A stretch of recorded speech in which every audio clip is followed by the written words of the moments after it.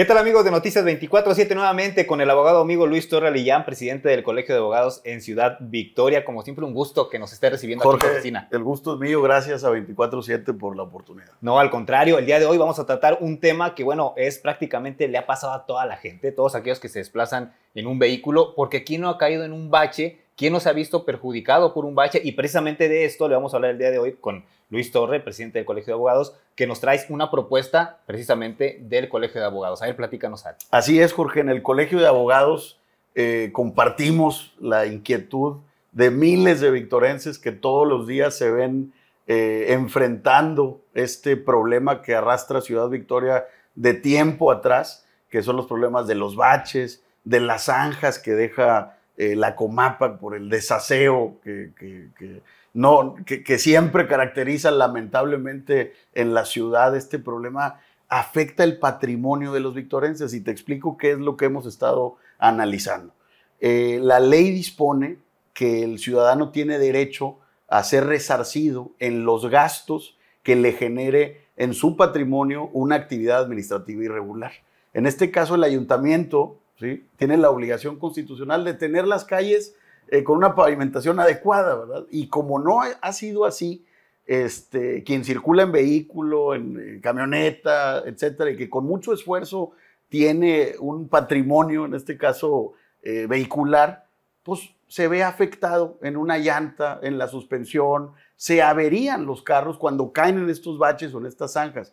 Y no es posible ¿sí? que la ley, que sí contempla que, el ayuntamiento les pague a estos ciudadanos que se ven afectados, en la realidad es un derecho que no se hace efectivo porque hay muchos requisitos que hacen esto inviable. ¿verdad? Entonces, ¿qué queremos en el Colegio de Abogados? Que sea una realidad, que lo que contempla la ley, ¿sí? en el derecho a ser resarcido en los daños del vehículo, que sí se haga eh, factible, que sea viable y que la gente pueda realmente lo que se gastó para reparar la llanta o lo que se haya averiado en el vehículo, el ayuntamiento pueda devolvérselo. ¿Sí? que pueda reintegrárselo. Entonces lo que estamos planteando es ir al cabildo, ¿sí? a explicar cuál es nuestra propuesta para aligerar la carga que hoy tiene el ciudadano y que realmente cuando haya una afectación a su patrimonio eh, vehicular pueda ser reintegrado su dinero, dinero, pueda pagarle el ayuntamiento lo que se gastaron por esto, Jorge. Y es que son varios los requisitos y sobre todo por esta, esta cantidad de requisitos o lo tedioso que se vuelve de repente o el gasto que hacen, porque hay un gasto, por ahí Así que es. tiene que hacer los, los eh, aparte digo, del gasto de, de reparar el vehículo, un gasto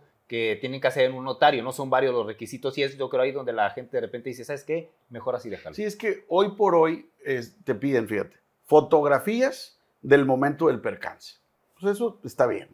La factura de lo que te costó la, la, reparación de la llanta, o la llanta nueva, o la suspensión, o etc.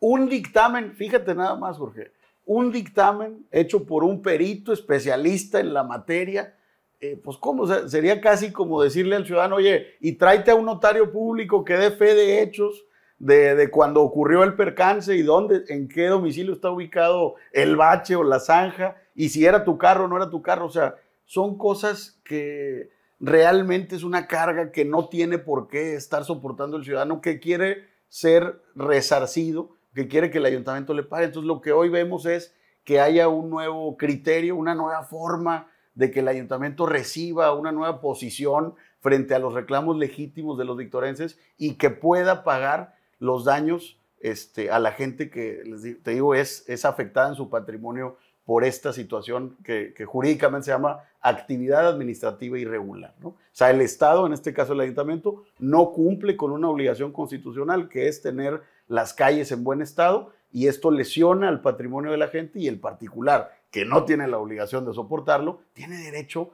a que se le resarza eso, lo que gastó para reparar el vehículo, que el ayuntamiento se lo pague. Inclusive ha habido muchos casos, digo, porque hemos escuchado de casos de gente que va gasta, eh, gasta en el perito, gasta en, en, reparar el automóvil y al uh -huh. final de cuentas el ayuntamiento le dice, ¿sabes qué? No cumpliste con los requisitos, no entras y no te voy a pagar absolutamente nada. O sea, se parte, se parte, fíjate, de la desconfianza en el ciudadano, cuando en realidad no debería de ser así.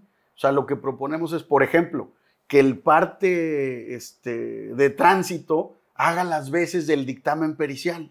O sea, evítale a la gente tener que además pagar un notario, pagar un perito. ¿En qué momento? O sea, pues, ¿sí? Te pasa el, el percance, el accidente, pasa lo de la llanta y pues la gente está trabajando, traes prisa, no traes dinero.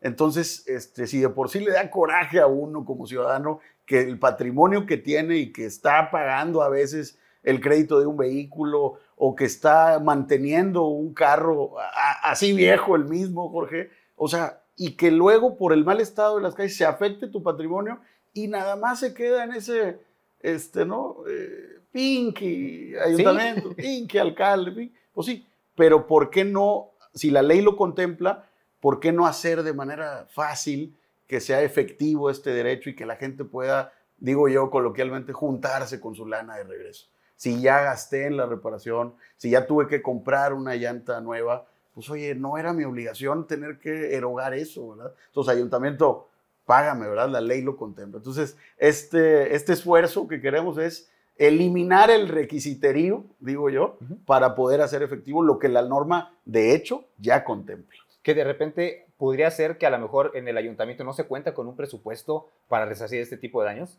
Pues fíjate, la ley dispone que sí lo deben de tener. Este, o sea, el ayuntamiento en el ejercicio del gasto tiene que contemplar una partida precisamente para casos, se, le dice jurídicamente, de responsabilidad patrimonial del Estado, que un ejemplo de ello es lo que estoy comentando. Entonces, sí debería de haber una partida para estar pagándole eso a los ciudadanos, porque te digo, la ley dispone que no tenemos la obligación jurídica de soportar ello.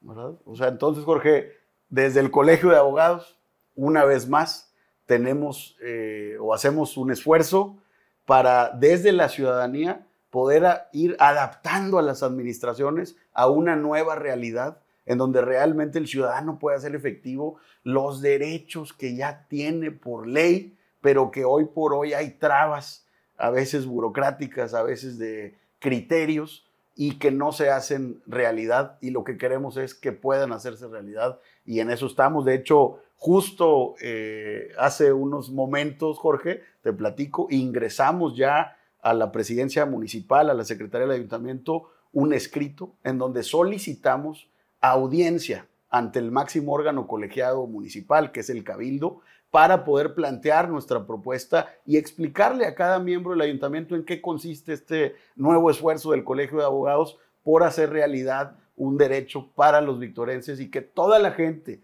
sean habitantes o visitantes que sufren una lesión en su patrimonio, en sus, en sus vehículos, puedan ser resarcidos porque así lo contempla la ley. Que eso es lo más justo al final de cuentas. Digo, no estás pidiendo otra cosa más que lo que es por ley, lo que corresponde por ley. Por supuesto, es que si la norma dispone expresamente, ¿sí? Que no tiene la obligación jurídica de soportarlo el ciudadano y que si un particular sufre lesión en su patrimonio producto de una actividad administrativa irregular, en este caso, que el municipio no, no eh, tiene bien las calles, tiene derecho a que lo que se gastó se llama daños y perjuicios, por la reparación de la llanta, por la reparación del vehículo, le sea resarcido por el mismo municipio. Pero esto, ¿cuántas veces hemos escuchado que esto se, se lleve a cabo? Son muy pocas y contadas las veces que el municipio ha hecho esto, cuando en realidad todos los días, y fíjate, documentamos de hecho con centros llanteros en diferentes puntos de la ciudad, todos los días están llenos de trabajo, o sea, es una realidad que afecta a miles de victorenses en, en cada año y que no puede ser que haya una indiferencia por parte de la autoridad municipal. Y si la ley lo contempla, debe hacerse efectivo. Y en eso estamos trabajando desde el Colegio de Abogados, facilitarle al ciudadano para hacer realidad este,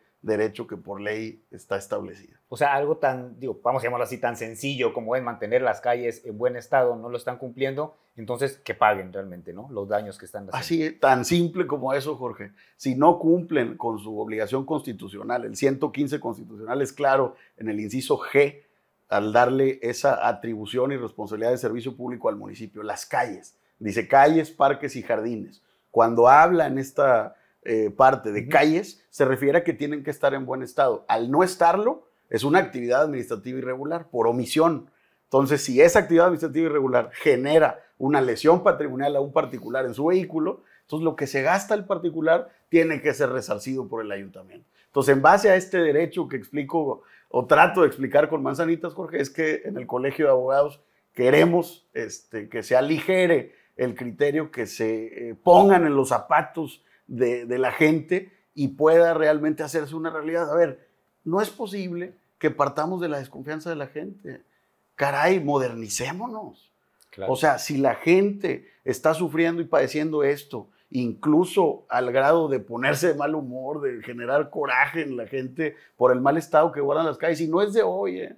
tampoco es echar culpas y decir, esta administración, a ver, lo sabemos, esto es un problema que se arrastra desde hace muchísimos años en Victoria, pero que lamentablemente no hemos visto acciones que sean congruentes al problema, que es lo que hoy desde la sociedad estamos pidiendo. Por eso pedimos eh, oportunidad de estar en la sesión del ayuntamiento y plantear esta propuesta del colegio para hacer efectivo el derecho de los victorenses y de los visitantes en Victoria que padecen esto en, sus, en su patrimonio vehicular. Que seguramente va a ser muy bien vista por todos los ciudadanos. No creo que vaya a haber alguien que vaya a decir, oye, pero pues, ¿qué hay ahí? O sea, sí, pero seguramente en el ayuntamiento a lo mejor no les va a caer también de repente. Pues fíjate, yo, espero, yo espero que no sea así. Yo creo que así como, como cuando planteamos la propuesta en favor de los niños, que recuerdo 24-7 también nos cubrió y agradezco, eh, yo decía, en el Congreso no tiene por qué haber una diputada o un diputado que se oponga a empoderar a la niñez tamaulipeca. Creo que sería el caso. ¿eh? Primero que nos den la oportunidad de exponer las inquietudes del colegio, es algo que sería en bienestar de los victorenses, ¿verdad? Y para generar y hacer realidad un derecho. Entonces no veo por qué el ayuntamiento este, lo, lo viera con malos ojos, todo lo contrario. Así es, en beneficio de la gente y bueno, ya lo escuchó usted, el, presidente del Colegio de Abogados lo acaba de explicar muy bien y vamos a estar al pendiente porque esto nada más es la primera parte.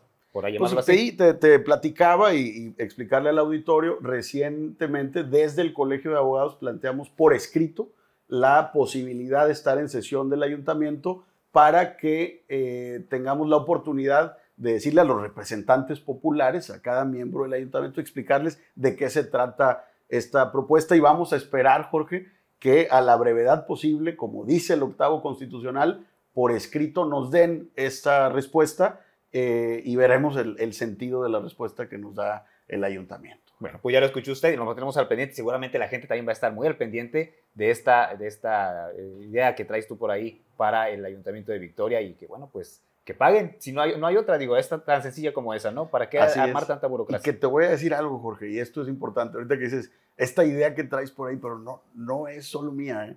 Me han escrito a través de las redes sociales, como en el colegio hemos estado muy activos, dicen, oye, Lick, ¿por qué no hablas de esto?